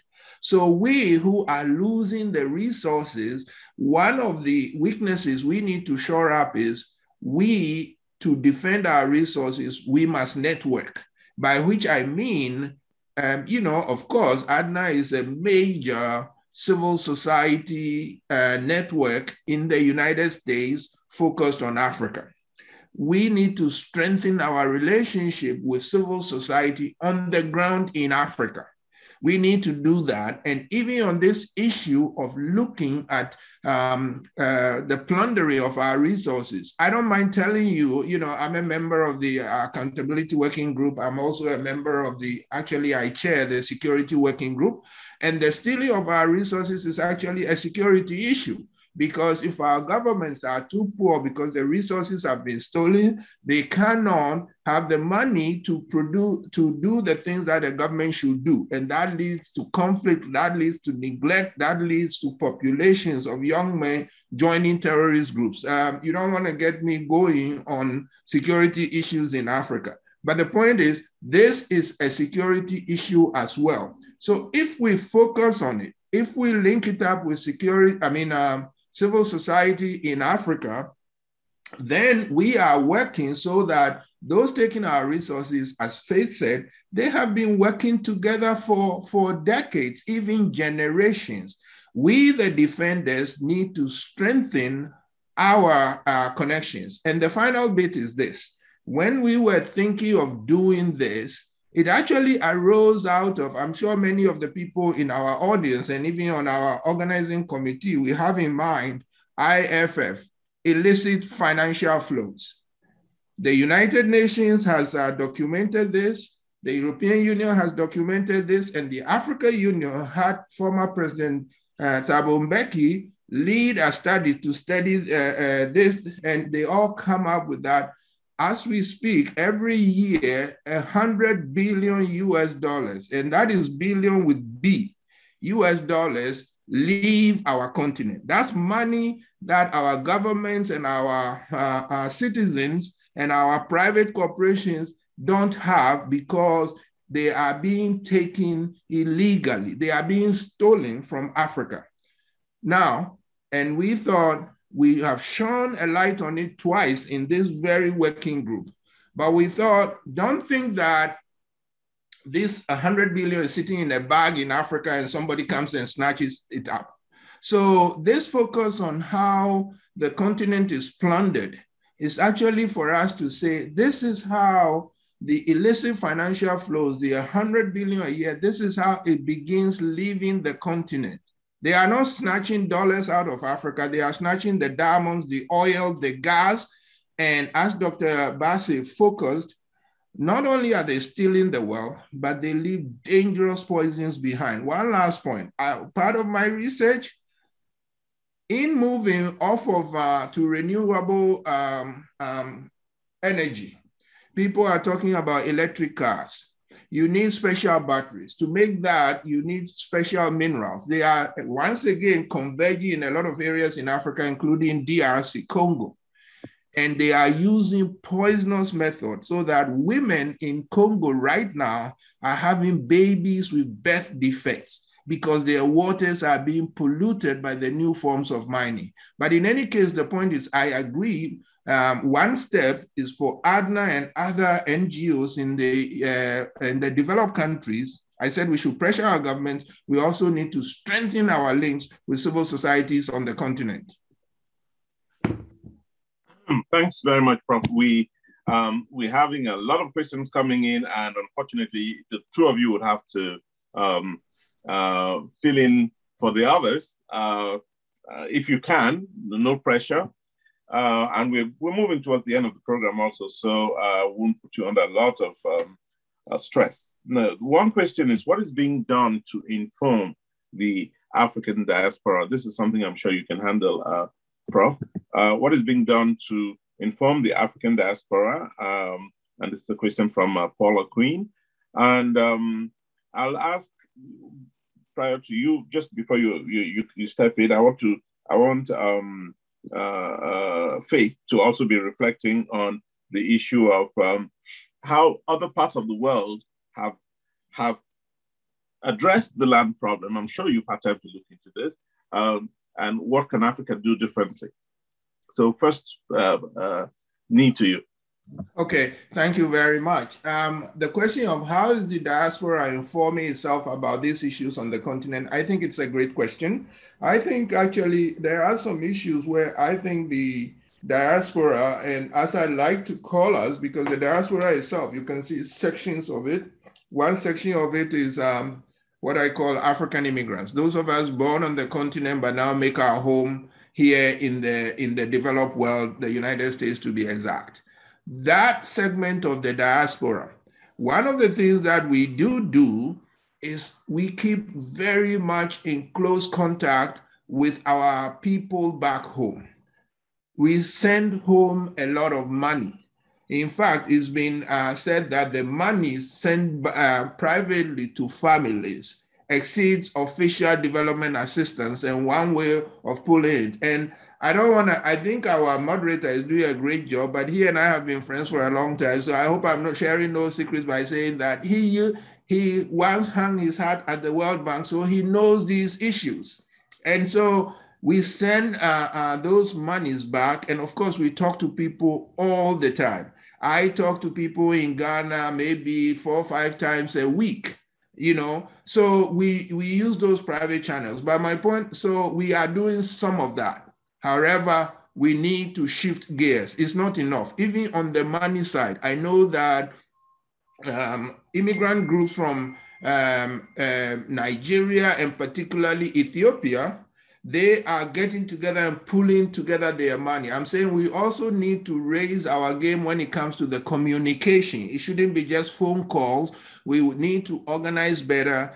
And I was saying my first, very first answer that where Alain says diaspora, I say ADNA. So I am throwing a challenge to my old group ADNA, but I'll give a shout out to ADNA this um, webinars that we have been doing and a lot of issues, Pan-Africanism, um, on COVID, on illicit financial flows, and now on resource extraction, it is a way of raising the game. So how are we spreading the word?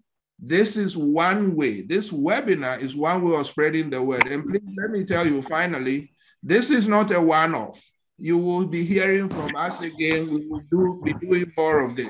Thank you.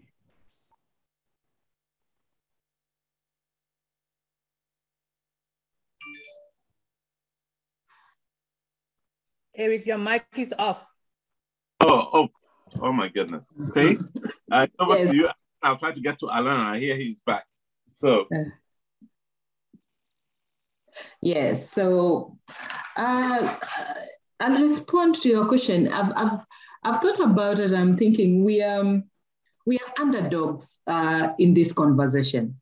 Um, uh, every other country that organizes well around, especially land justice issues, and I've been trying to to think the model um, country in Africa that can say they've gotten their land um, their land governance processes in order and they don't have issues. Um, I'd say there are some that are just better than others, but there is none that can say they have their land uh, questions answered because um, it was designed like that.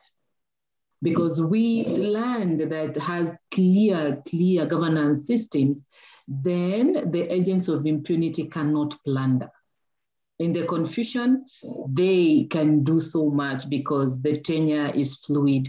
Across Africa, even in some countries, um, there are some practices that even promote such uh, plunder uh, unashamedly. So, um, what can be done? Um, we have laws. Even in Kenya, we have very beautiful pieces of legislation. The enforcement is the problem. And the enforcement um, is not um, a guarantee, even with good laws, that uh, land justice can be actualized.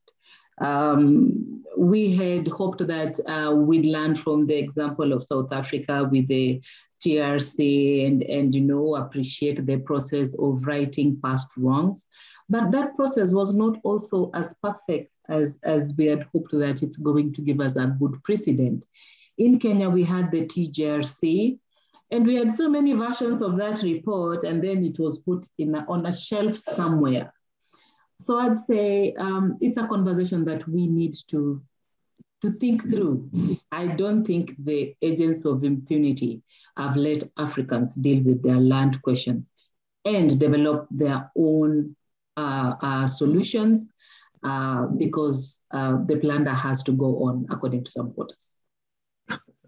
Uh, Alain came and left. I don't if he does come back because I know the road is on and uh, uh, the network must be fairly tricky, you know, uh, in that part of uh, uh, the country. Alain is there.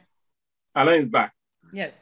Fantastic. Alain, I'm going to ask you uh, to, I'll try to frame a question that wraps up all of this. How can we have African countries, they tend to work in silos and we're unable, and this question came from someone in the audience, uh, working in silos, Africans can, it appears, never address successfully the issues of whether it's minerals or fishing or any of the issues we are talking about. So there's need for some continental approach to addressing these issues. Is that your thinking, Alain? And do you think our leaders are in, a, in the mindset for, for, for, for moving on in that direction?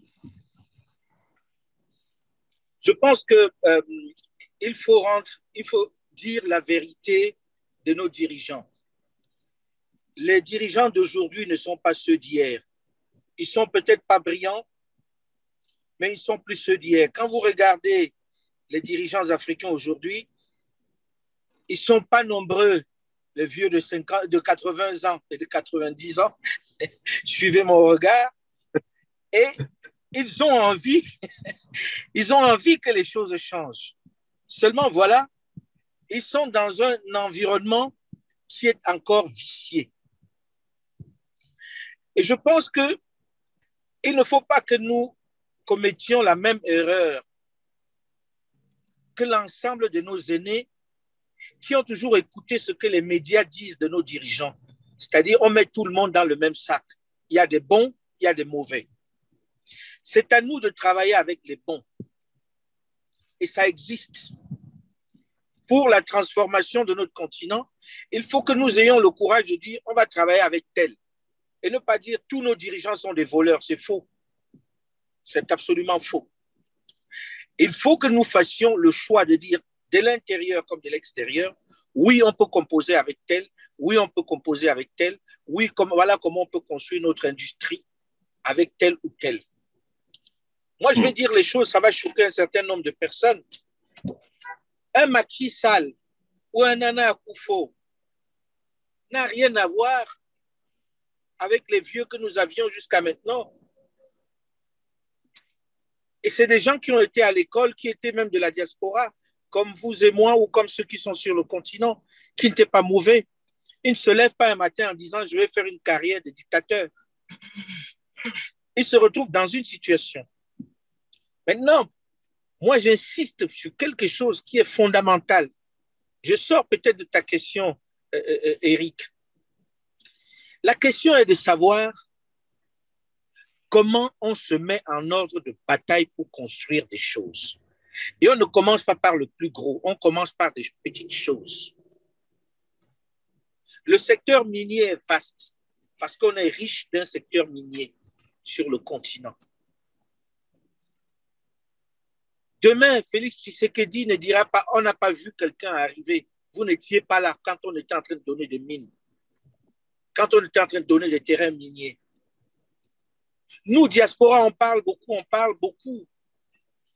On est les premiers contributeurs de ce pays-là. Nous sommes les vrais financiers de ce pays. Eric, tu le sais, nous donnons deux fois l'aide au développement à nos pays. Mais si c'est l'aide au Western Union, ça ne sert à rien.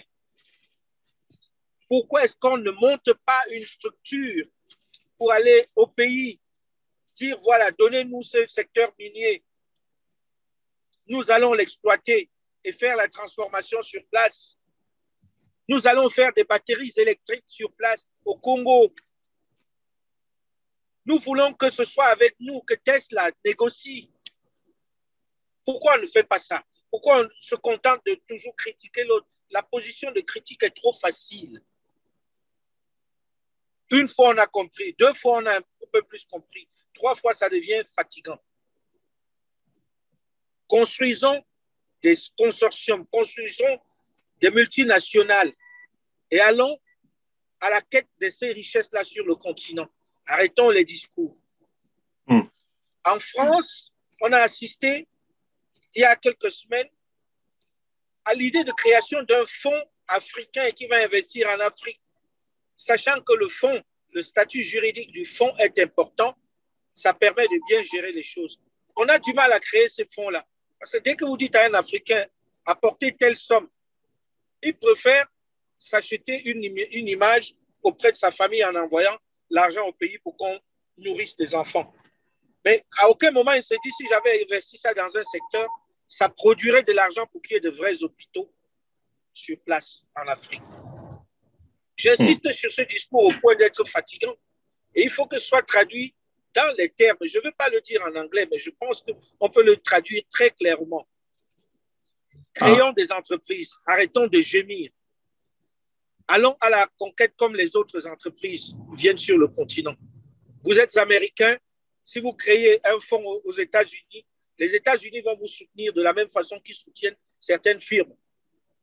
Allez à la conquête de la, du DRC, allez à la conquête de la Centrafrique, prenez des mines faites la transformation sur place. Voilà. Merci Alain. Parce que nous n'avons pas beaucoup de temps, j'aimerais bien que Cathy euh, traduise euh, ces grandes idées que tu viens de, de mettre. Cathy, can you quickly uh, capture the essence of what Alain has said? Yeah, he said a lot of things. Thanks, Eric. Um, I will start with the end because it was saying at the end that we should stop complaining and we should start acting and taking, I mean, action, moving into the direction of taking ownership of our own development in Africa. That people should, instead of sending money to Western Union to Africa for to help their families, they should instead, I mean, he was suggesting that people should, the diaspora can create companies, can set up a, a, a fund uh, in Africa in order to invest into our own development. Uh, at the beginning, he stated that uh, uh, leaders in Africa are no longer the same as the, the past generation of leaders that we used to have. They are much more younger and they are much more informed or aware of what is happening on the continent, but they are also working uh, in, a, in a vicious environment. So we should not, he was advising us not to put all of them in the same, in the same box.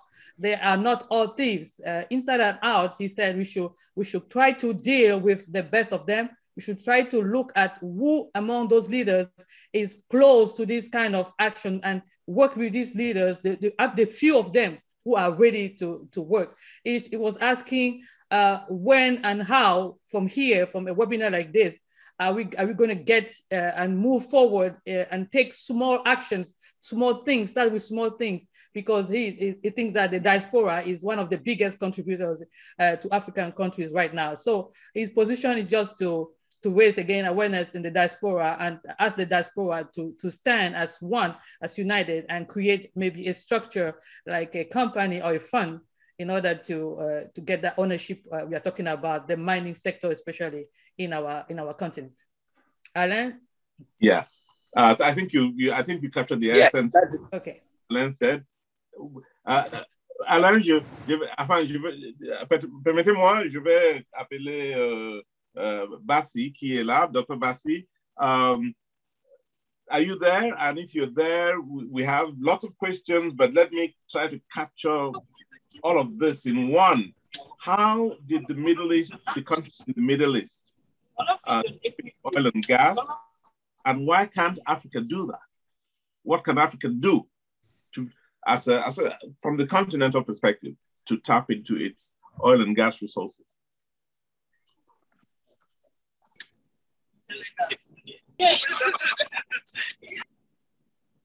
Hello. All right, that seems like a simple question, but I'm here. Are you hearing me? Yes, yes, we it are. Seems like a, it seems like a simple question, but it's actually very complex. Yes.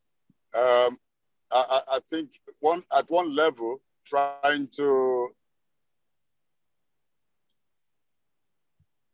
trying to wonder if we can replicate what the Middle East have done with crude oil, that Africa could do the same thing uh, is is a very is, is a different. Uh, I think it's a complex discussion that we could have. Uh, some people have even said that the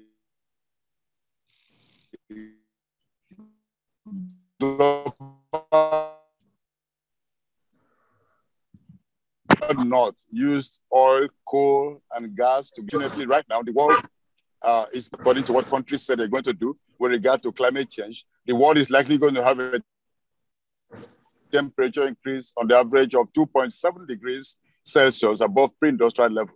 If that happens, we're not going to talk about development anywhere in the world. The world is going to have more cataclysmic uh, floods and storms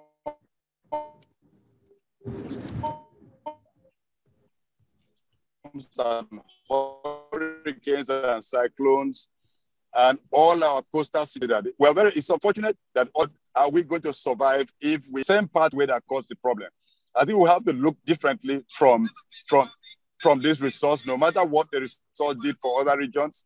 Um, we, we need to actually look at the fact that we cannot, under the current objective conditions, pursue a pathway that is destructive.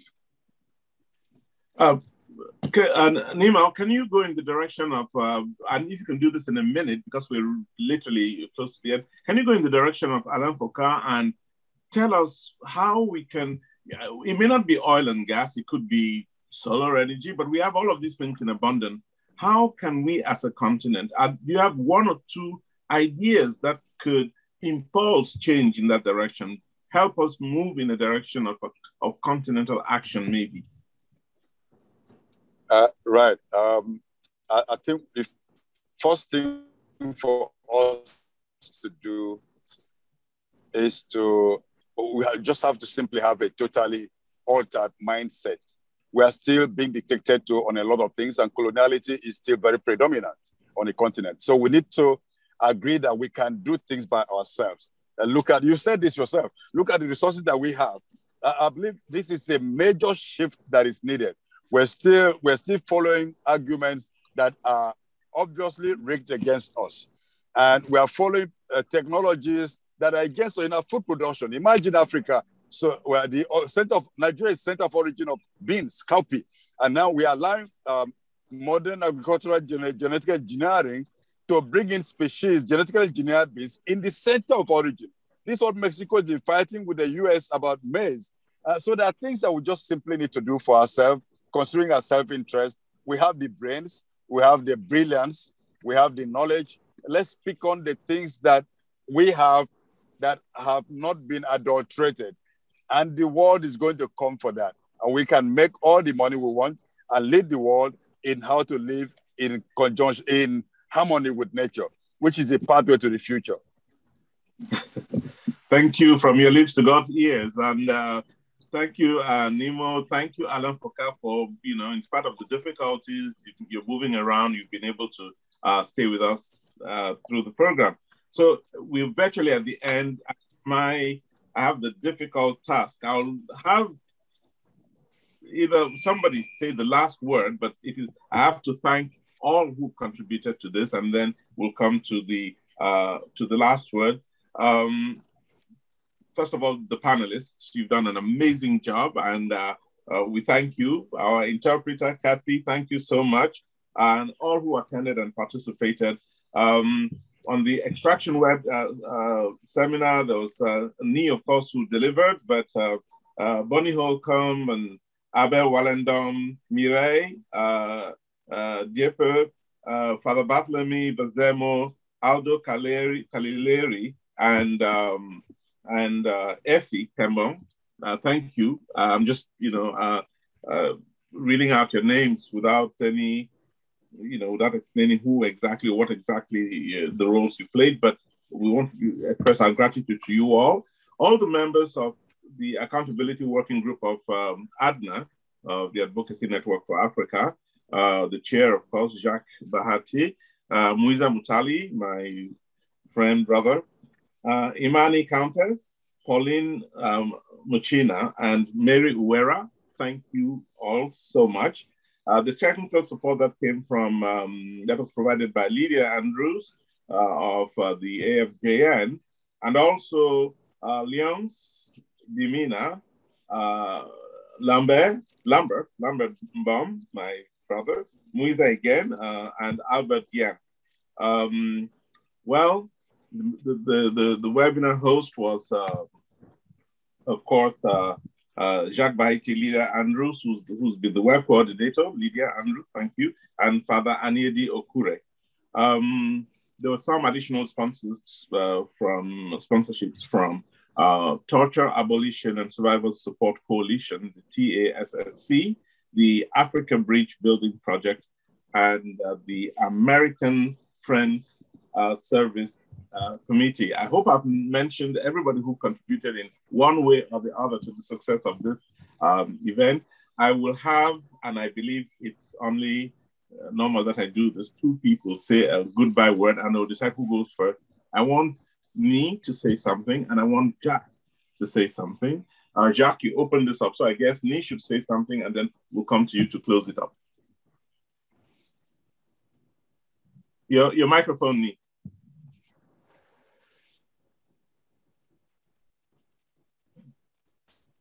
Or someone should unmute you.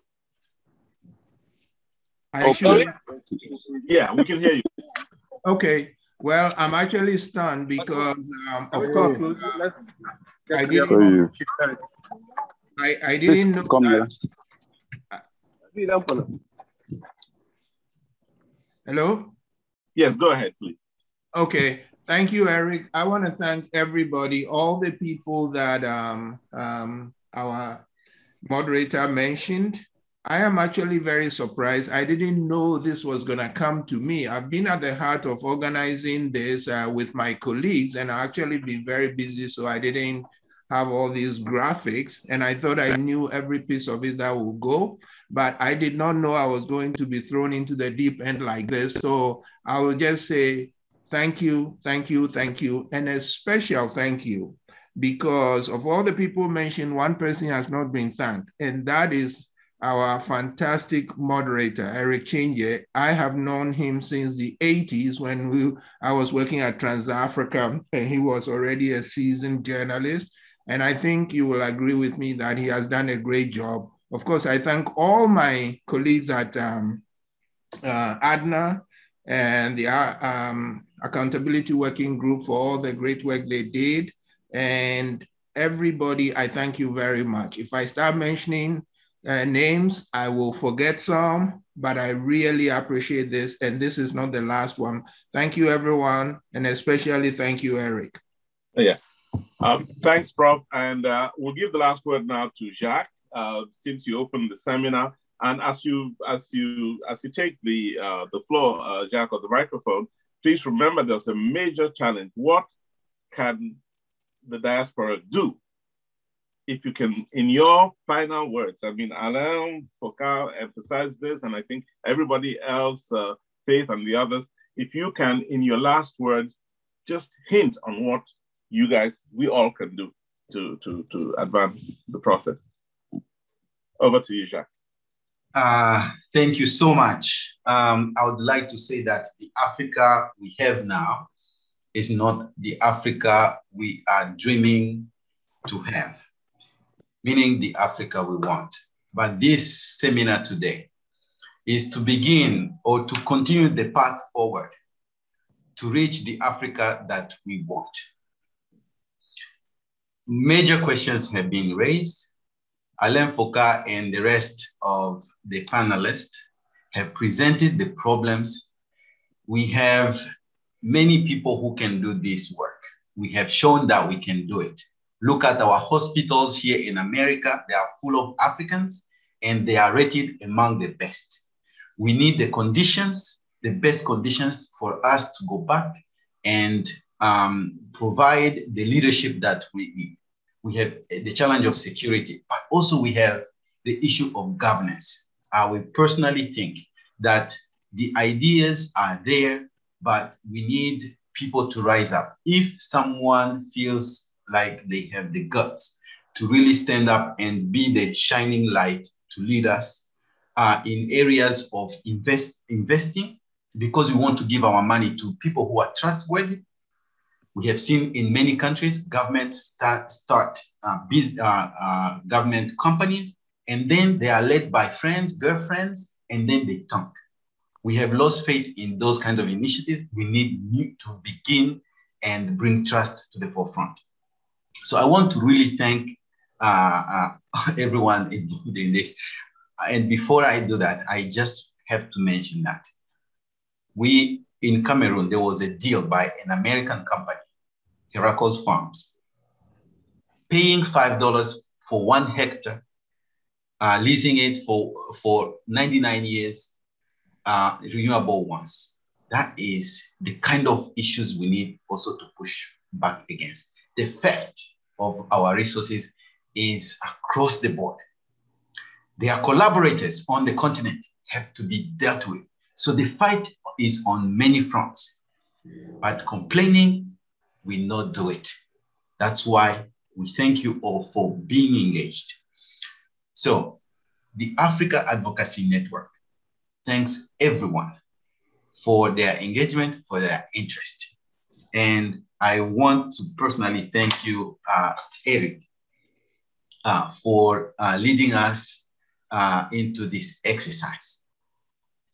We have seen that it is possible to talk a little bit and act a little more, and the results can be really shown.